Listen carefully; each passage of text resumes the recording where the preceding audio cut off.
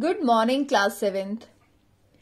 I welcome you all in the English class, session 5 of the chapter chapter number 7, Chandni, from our supplementary book An Alien Hand. Today we will start with part 3. Uh, and before starting this part, uh, just recapitulate what we have studied so far. Once an old man Abu Khan lived in Almora. He was alone. His only companions were few goats, which he always kept as pets. He gave them funny uh, names. He took them out for grazing in daytime. He talked to them as one talks to one's own children. At night, he put a string round the neck of each goat. But poor Abu Khan was unlucky. One by one, his goats broke the string, freed themselves, and disappeared in the hills. They loved their freedom, so whenever they got the chance, they would run away only to be killed by an old wolf who lived in the hills. Abu was sad and puzzled. Uh, he wondered why his goats, in spite of all the good food and affection, ran straight into the jaws of death. Freedom for them meant struggle, hardships, and even death. When all the goats had left Abu, uh, he decided not to keep any goat as pet anymore, but he felt very lonely. So he brought a young goat. He hoped that it would begin to love him and never want to go to the hills. The new goat was white as snow and was very friendly. Abu called her Chandni. He would narrate to her stories of all his friends. Several years passed, Chandni was still with Abu. Abu believed that Chandni would never leave him, but her plan was something else. She watched the hilltops which appeared so charming. She hated the rope that would not let her go. She stopped eating the green grass. She refused to listen to Abu's stories. She lost her appetite. She only looked at the hills madly. One day she opened her heart to him. She said she would die if she was not allowed to go to the hills. Abu warned her of the risk. The dangerous wolf would eat her up, but she was really to face and fight the wolf. Abu got very angry. He pushed her into a small hut and shut the door. But the same night, Chandni made her escape through the small window in that hut. So, up to this, we have uh, covered part 1 and 2. This is the short summary of these two parts. Let's begin with the part 3. Chandni reached the hills. It seemed to her that the old hills were standing in a row to welcome her. When Chandni reached uh, the hills, the hills seem to uh, like that all the hills are welcoming Chandni. So that just to welcome the Chandni, they are standing in the row. She felt like a child meeting her parents after years of separation. And when she reached the hills, uh, she uh, just felt that, uh, felt as a parting child of a parent. जैसे कोई बच्चा बहुत देर बाद अपने parents से मिलता है, बहुत सालों बाद अपने पेरेंट्स से मिलता है तो कितना खुश होता है।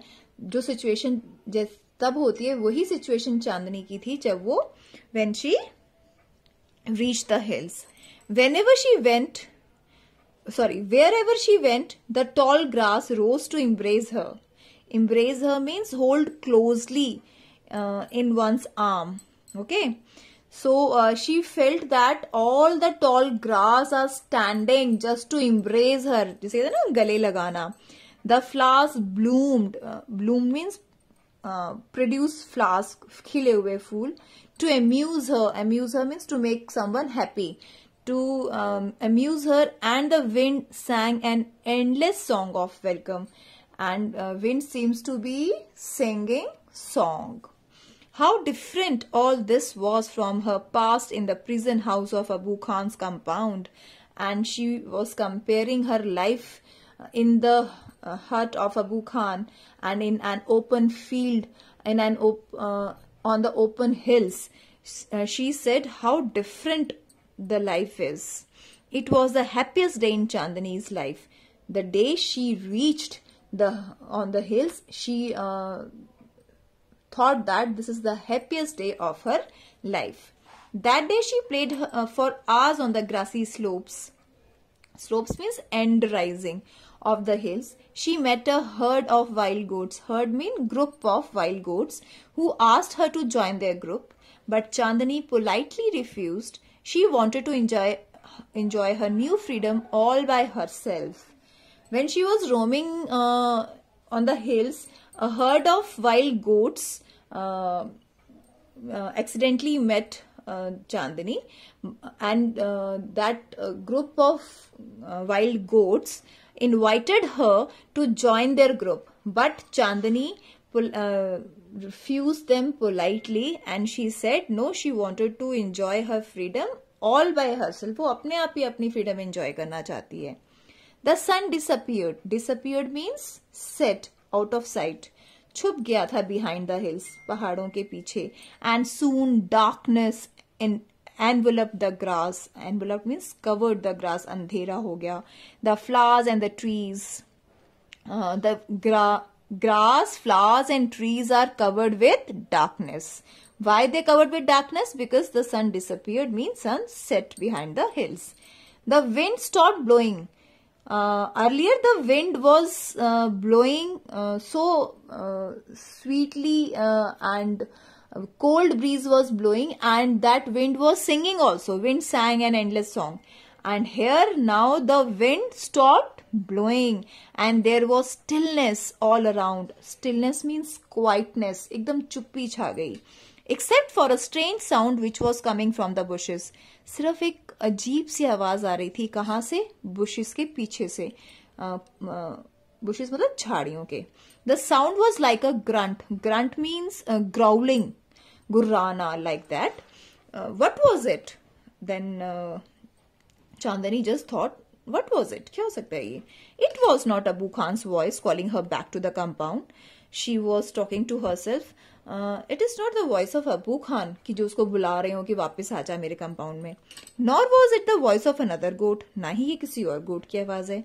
Then Chandni thought of the dangerous wolf who lived in the hills now suddenly she thought strike in his mind that it must be the sound of voice of that dangerous wolf who lived in the hills she felt scared scared means afraid Should she go back to the safety of Abu Khan's hut?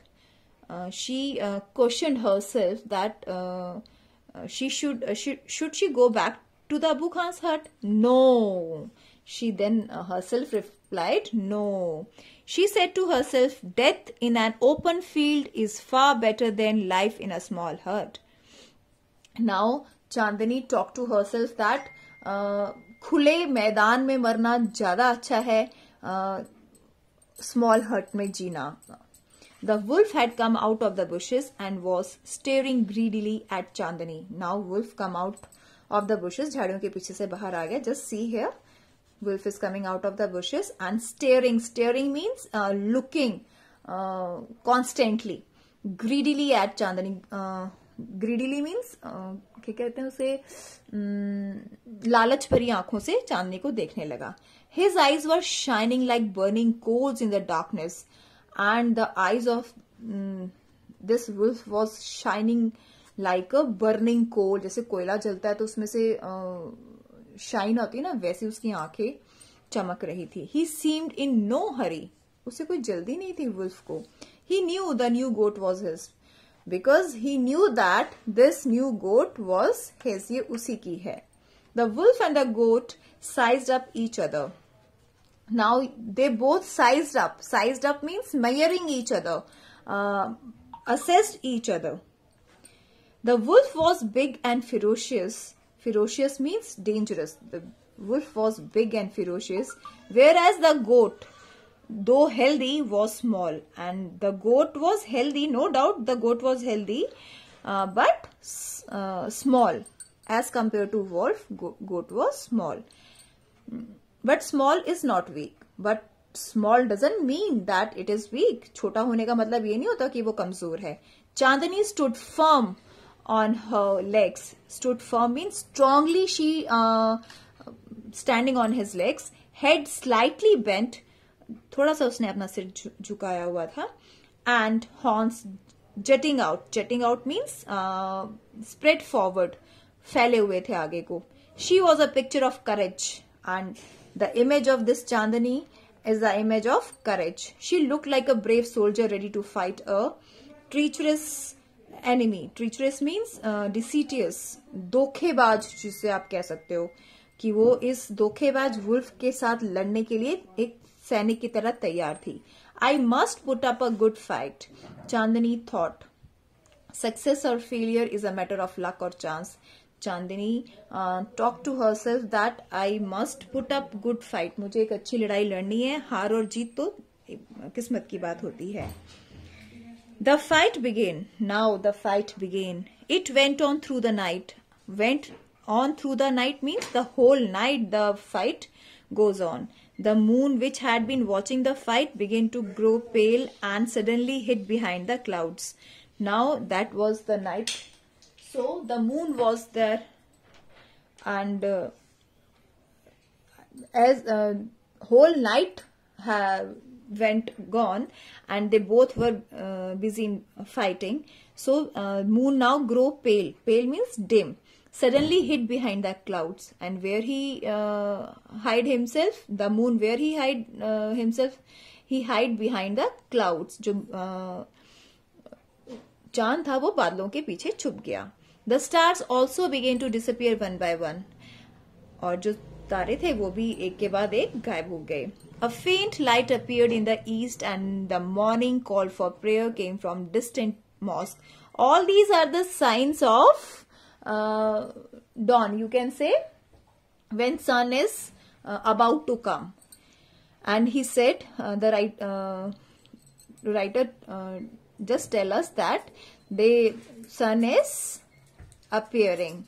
The first rays of the sun saw chandni lying on the ground. And what? We saw when the first ray appears that Chandni was lying on the ground. She was completely soaked in blood. Soaked means wet in blood.